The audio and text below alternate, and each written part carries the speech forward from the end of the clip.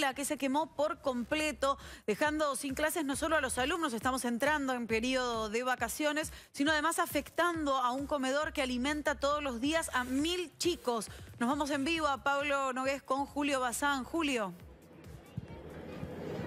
Hola Marina, hay una escuela quemada, docentes tristes y una comunidad dolida y muy preocupada y que está congregada acá porque hay un, una topadora que está recogiendo los restos, lo está volcando, es una ceremonia muy triste, está volcando los frutos de la destrucción en un camión que se lo va a llevar como basura porque no quedó nada sano ahí adentro.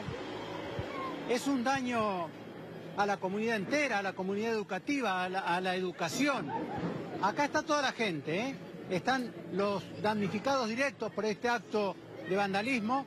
Estamos con, es una escuela primaria y secundaria, y estamos con las directoras de la escuela. Secundaria ¿Cómo es su nombre? Alicia Lencina, directora de la secundaria 30.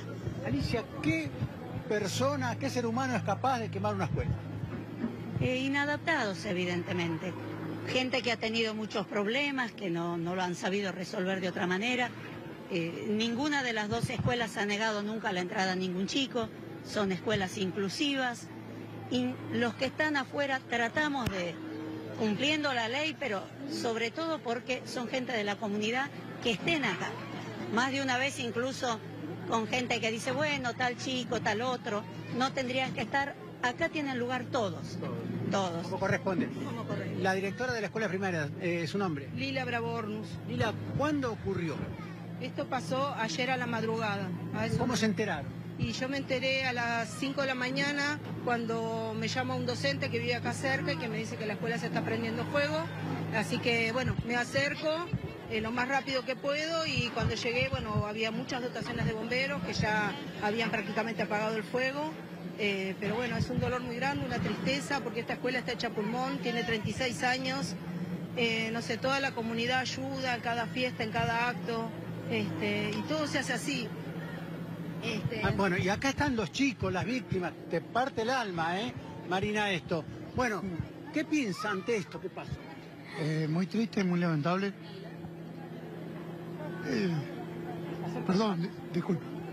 Muy triste, muy lamentable ver el colegio eh, donde los chicos se educan, eh, falta seguridad, control, iluminación, no sé, discúlpenme, no puedo hablar.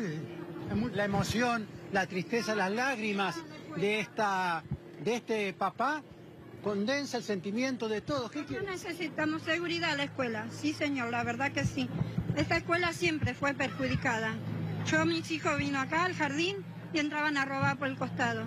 Entre todos los padres siempre colaborábamos para que nunca le falte nada a los chicos al jardín. Este es un llamado de atención, un reclamo de seguridad. Acompáñenme las directoras, porque vamos a, ver cómo quedó la escuela. La destrucción fue total, ya se le explicaron los bomberos por dónde empezó el fuego. El fuego empezó, aparentemente fue intencional, empezó en el sector de primaria y tomó fuego muy rápidamente el machimbre y se extendió hasta la secundaria.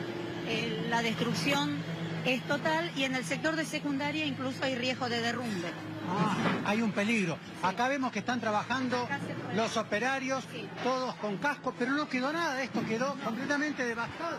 Totalmente, totalmente, porque el fuego hizo efecto chimenea, aparentemente habría iniciado en aquella ventana cuando tiraron algo este, que prendió fuego las cajas de disfraces de los nenes de teatro y bueno, eso eso hizo este, que se prendiera fuego todo el machimbre, el techo, el piso, y bueno, hizo todo y llegó al pasillo y, así llegó a la secundaria.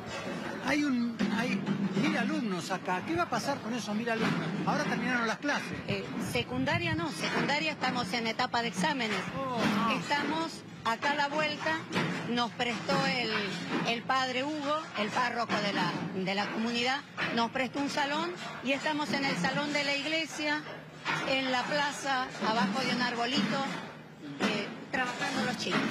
Miren la destrucción, bueno, los techos, las chapas están completamente arqueadas, todo quedó vacío porque todo se quemó. Ahora están levantando hasta las baldosas del piso. Esto no quedó nada, miren cómo quedaron las paredes, las paredes completamente destrozadas por el, por el fuego. ¿Y cuánto se va a tardar en reconstruir esto?